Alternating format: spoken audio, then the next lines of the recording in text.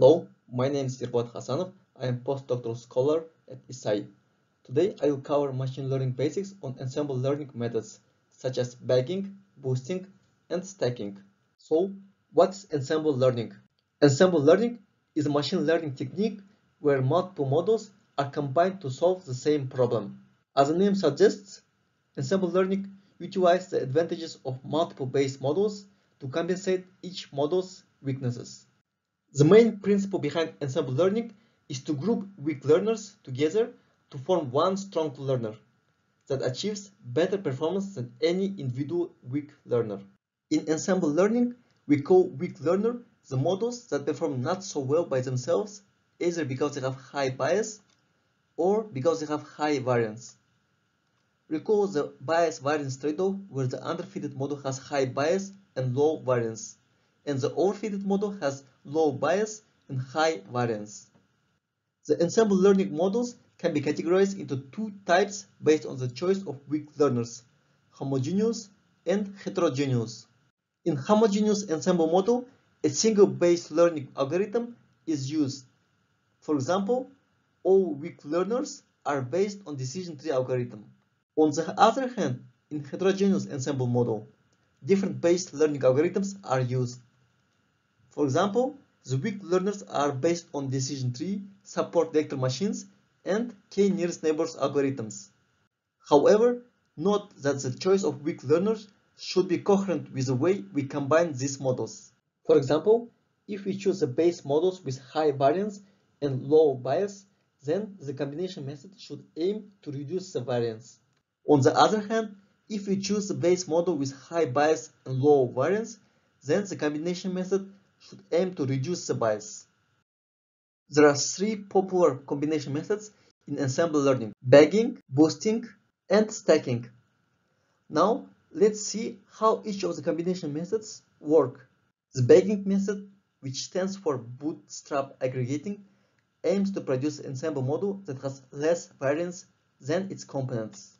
It first learns several homogeneous weak learners with high variance, and then combines them by using some averaging process. One important question is how to obtain so much data to train the weak learners, because in practice, the data is always insufficient.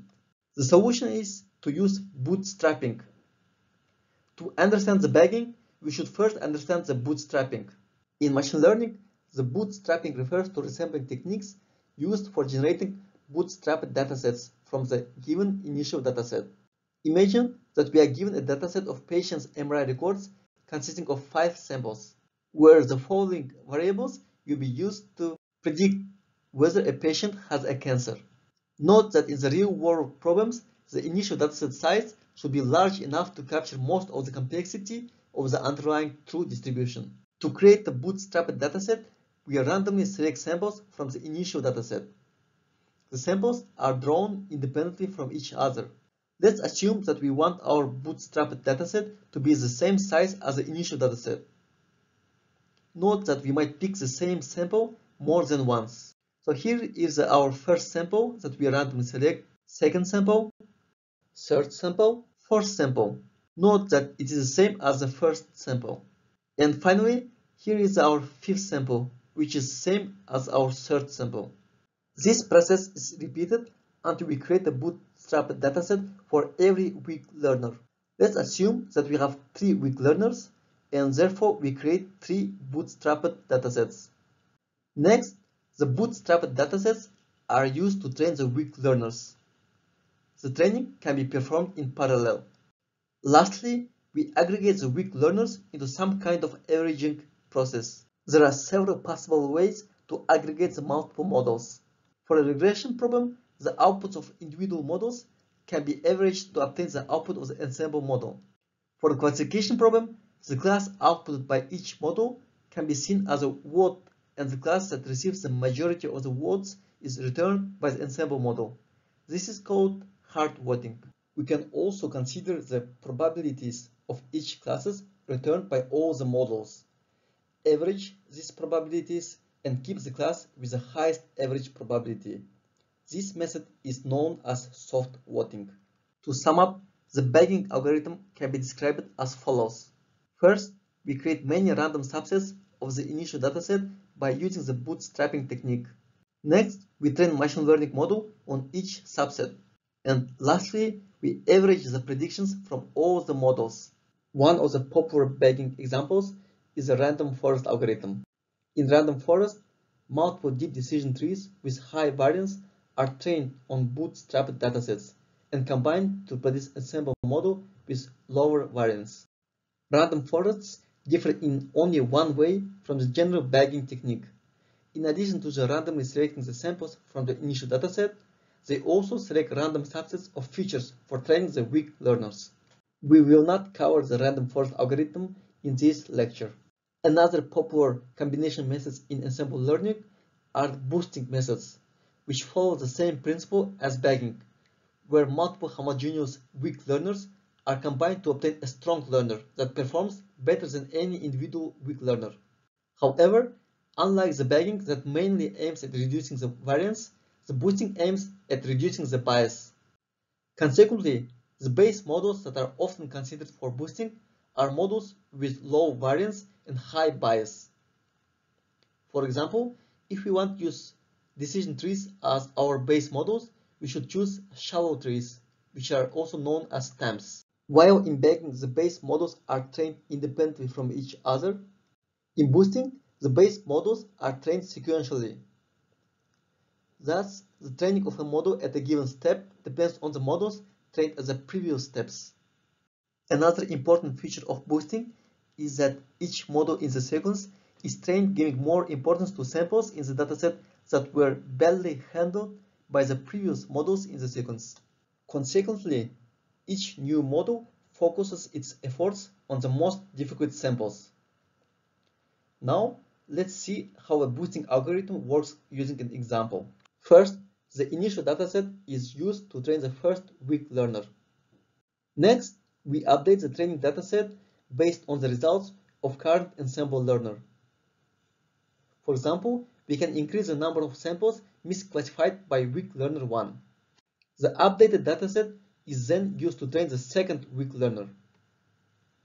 Consequently, the second model will aim at improving the results on difficult samples. To create the next updated dataset, we will use the results of the current ensemble model. We will explain how to aggregate the weak learners later.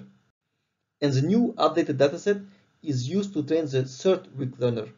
This process is repeated until some criteria is met. For example, the total number of weak learners to train. In this example, let's assume that we set the number of weak learners to train to 3. There are several possible ways to aggregate the multiple models. The most popular one is a weighted sum of the weak learners, where CI is a coefficient computed based on the performance of corresponding weak learner Fi. The popular boosting algorithm include AdaBoost, gradient boosting, and XGBoost. The general procedure of these algorithms is almost the same as we explained in previous slides, and therefore we will not cover them here. Next, let's understand the last combination method, which is stacking. Different from the bagging and boosting combination methods, the stacking often considers heterogeneous weak learners. Additionally, stacking learns to combine the base models using a meta model, whereas bagging and boosting use some averaging process. So, in order to build a stacking model, we need to define two things, the base algorithms for weak learners and the meta model that will combine these weak learners. Let's understand the stacking with the example. For example, for a classification problem, we can choose following weak learners, decision tree, k nearest neighbors, and support vector machines. As a meta model, we can use the neural networks which will take as inputs the outputs of our three weak learners and we will learn to return final predictions based on them. Next, we have to follow these steps. First, split the initial dataset into two folds. The first fold will be used to train our weak learners. Then, use the trained weak learners to predict the samples in the second fold. Lastly, use the predictions to train the meta model. Note that we shouldn't use the predictions made on the first fold to train the meta model. Instead of two-fold, we can also use k-fold cross-training, which is similar to k-fold cross-validation, where all samples are used to train both the weak learners and the meta model. In k-fold cross-training, k-1 folds are used to train the weak learners, whereas the remaining fold is used to train the meta model. Now, let's conclude our lecture. Ensemble learning is a machine learning paradigm where multiple models are trained to solve the same problem. We covered three popular ensemble learning methods, bagging, boosting, and stacking. The main goal of these methods is to combine multiple weak learners to achieve better performance than its components. Note that other combination variants are also possible and can be designed to better fit the given specific problem.